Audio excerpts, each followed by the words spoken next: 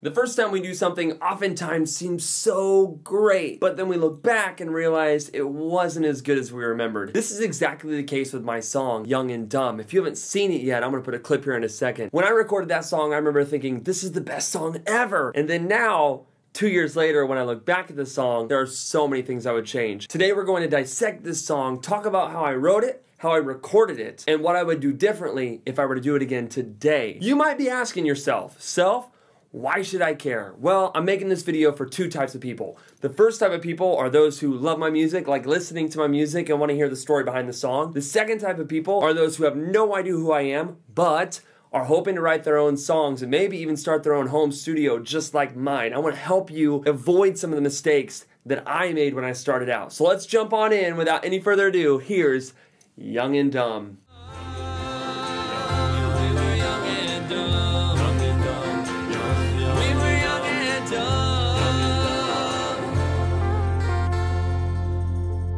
young and dumb, young, young and dumb.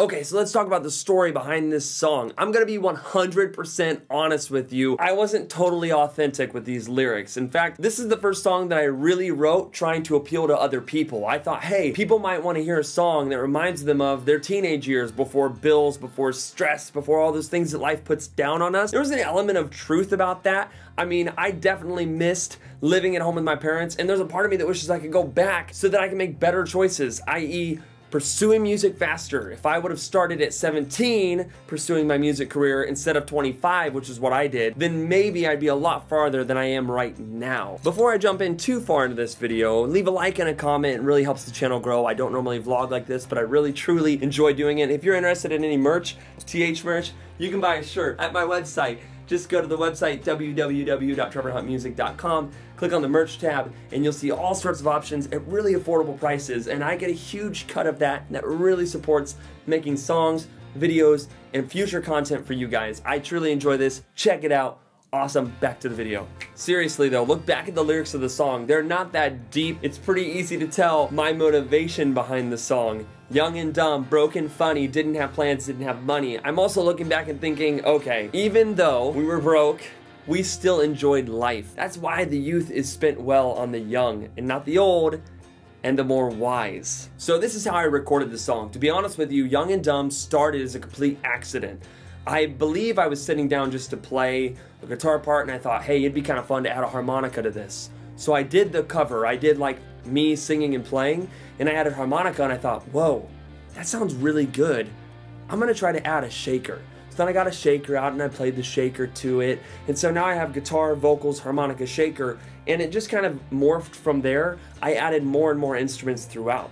Now this, every instrument's acoustic in this, so I was recording everything live in this. There was no electronic or MIDI data, but Still, I added everything as it went, completely accidental. I wasn't planning anything, I just kind of fell into the song and what it sounds like as you see it. So I would say if I'm guessing overall, and my guess could be way off, but this song at least took me 20 hours to do, to record, um, to have mixed, and then to make a video for, which in my opinion is way too long to spend on one song. And if you listen to the song now, honestly, it's not even that good. But I'm so thankful I had the experience. Next, let's talk about what went well with the song and what I would change. Because there's a lot of things I would change and a lot of things I think went really well.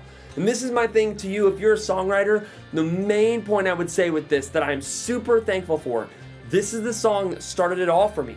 I mean, I would have no music career. I would have no subscribers. I would have nothing going for me if I hadn't started doing my own music. Young and Dumb didn't go anywhere, and neither did my next song, Fallen, but Indiana Home got like 8,000 views, or I don't even know how many it has now, but it had a lot of views, a lot more views than anything else, and it was the first thing that started booking me gigs in Indiana to actually make money with my music. So without Young and Dumb, none of that would have happened. So I'm very thankful for that. The other thing that I'm thankful for is I kind of learned a lot of lessons through the School of Hard Knocks.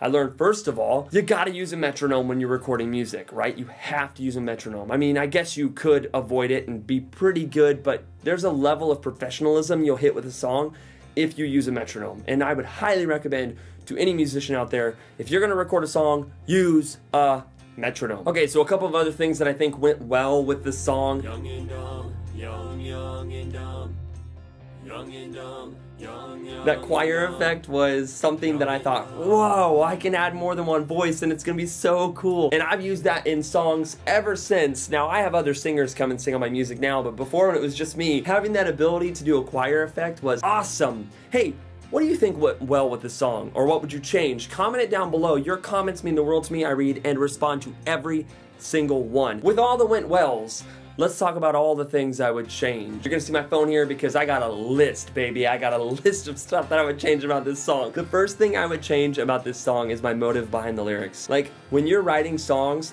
don't write songs to impress other people or hoping that people will like it. Write songs because that's who you are and that's what you want to write about. Like my latest song, Amy Rose, is the most authentic song I've got and it's my favorite because it means something to me. I don't care if anybody doesn't like it. I like it. And that's a powerful position to be in as a songwriter. If you don't need someone else's approval when you have earned your own. The second thing I would say, and the one of the biggest things, if you go to record a song ever, or even just practice guitar or piano or any instrument, use a metronome. I used to think this was silly and boring, and I thought, oh, you don't need a metronome. But man, when you play with a metronome, it locks you in so much tighter than you could ever be on your own. And you can really sync up the instruments to where it sounds like a live band more and less like some dude playing 12 parts. The next thing, and this is for people who want to record music, if you're gonna do it, the order that I recorded Young and Dumb in was horribly inefficient. 20 hours to do a song, in my opinion, is way too long. So what I would do in the future,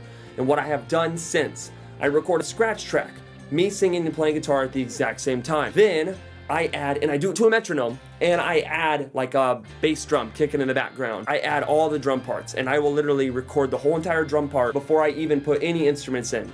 Then I do bass, then I add everything else. So drums and bass really help you lock into that groove and stay in the groove. Now I could do a song in about three to five hours. Much higher quality too, but it's because over time you get faster and better at the things that come into recording music and so I would say if you're recording music, try to be efficient, try to cut all the things out that waste your time because a lot of people burn out when they think, man, I can't do a song, that's 40 hours of work, that's a whole week. It seems like forever, but hang in there, keep putting your music out there, and I promise you, you'll get faster at it. In conclusion, Young and Dumb's not an awful song, that's why I haven't deleted it, but it is kind of a shallow lyric song with poor production qualities that I wish I could go back and change, maybe one day I'll record it with the studio and get it actually up to the par of what I would want it to be. If you like this song, guys, let me know. If you enjoyed this video, throw a comment down below. Subscribe to catch more videos just like this one. Ring the bell so that you don't miss them. And guys, have a great day.